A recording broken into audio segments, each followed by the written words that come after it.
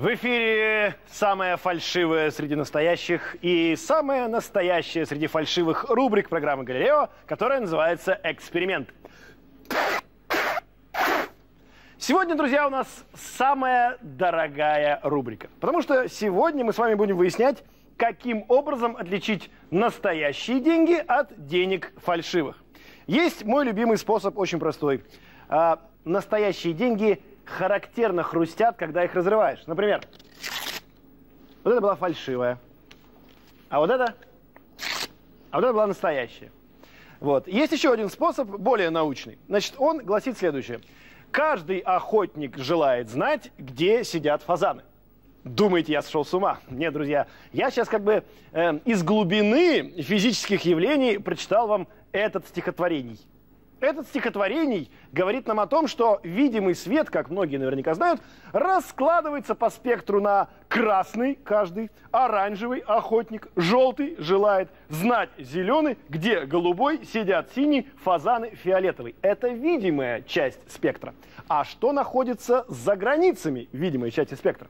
Все очень просто. Если у нас есть инфракрасное излучение, то есть излучение, которое находится ниже по частоте, чем красное, мы его, конечно, не видим, но мы его чувствуем.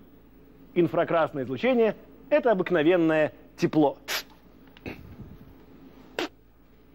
А ультрафиолетовое излучение, то есть то излучение, которое находится выше, чем фиолетовое по э, частоте, этого мы, конечно, тоже не видим излучение, но мы его чувствуем. Достаточно просто полежать на солнышке и через несколько часов ваша кожа даст вам знать, что вы почувствовали ультрафиолетовое излучение. Но, собственно, ближе к деньгам.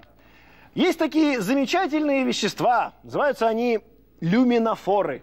От э, греческого люмин – свет и форос – несущий. Так вот, эти вещества преобразуют ультрафиолет в видимую часть спектра. И получается, что посветив невидимым ультрафиолетом на эти вещества, мы эти вещества увидим, как будто они светятся. Ну, самый яркий представитель таких веществ – это бумага с отбеливателем. Будьте добры, сделать, пожалуйста, цвет поменьше, дабы было хорошо видно все, что я показываю. Спасибо большое, спасибо.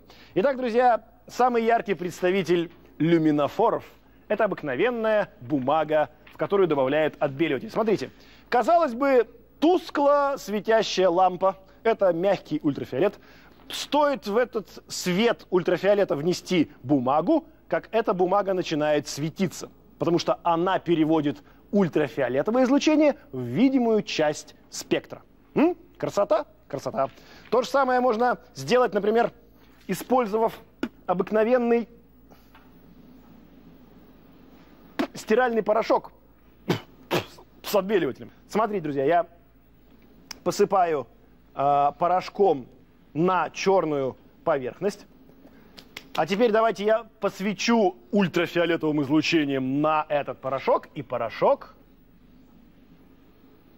Ну что ж, приступим к самому главному к деньгам. Итак, у меня есть пачка денег, и я хочу выяснить, где среди них фальшивые купюры, а где настоящие. Значит, фальшивые купюры, как правило, делают из обыкновенной бумаги, а настоящая купюра, она, как правило, сделана из ткани.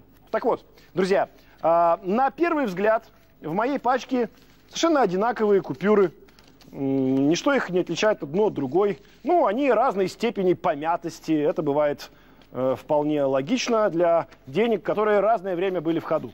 Ну что ж, а теперь давайте я на эти купюры посвечу ультрафиолетовым излучением, и в случае, если мы обнаружим среди этих купюр бумагу, она, как яркий люминофор, будет светиться, а настоящие деньги светиться будут гораздо меньше. Итак, приготовились.